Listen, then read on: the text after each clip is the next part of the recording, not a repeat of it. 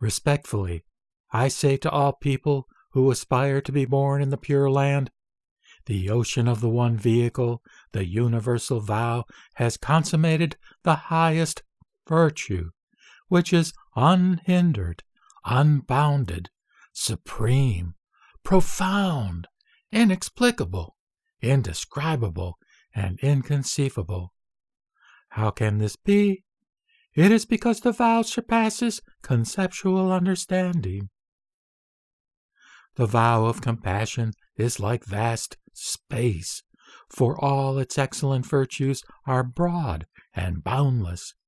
It is like an immense cart, for it carries all people, whether ignorant or wise, wherever they may be.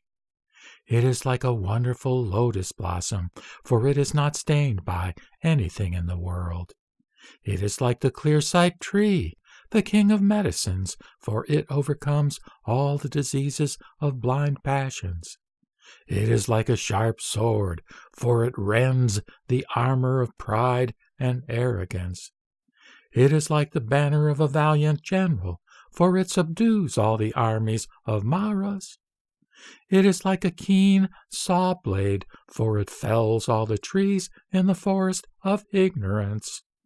It is like a sharp axe, for it lops off all the branches of suffering. It is like a true teacher, for it unknots all the ropes of birth and death. It is like a guiding master, for it informs foolish beings of the essential way of liberation. It is like spring, for it wells forth with the waters of wisdom, which are inexhaustible. It is like a lotus, for it is not tainted by any karmic evil. It is like a swift wind, for it dispels the fogs of all hindrances.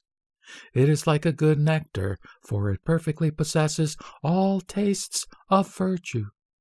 It is like the right path, for it leads the multitudes of beings into the capital of wisdom. It is like a magnet, for it draws to itself the virtues originating from the primal vow. It is like Jambunada gold, for it overwhelms all the good of the conditioned world with its brightness. It is like a hidden treasure store, for it embraces the dharmas of all the Buddhas. It is like the great earth, for all the Tathagatas of the past, present, and future throughout the ten quarters arise from it. It is like the light of the sun, for it breaks through the darkness and ignorance of all foolish beings and gives rise to Shinjin in them. It is like the supreme ruler, for it stands above all those of the upper vehicle. It is like a strict father, for it gives guidance to all, both the ignorant and the wise. It is like a compassionate mother, for it gives birth to and nurtures the true and real cause of birth in the fulfilled land for all, both the ignorant and the wise. It is like the nursing mother, for it raises and protects all people who aspire for birth, both the good and the evil.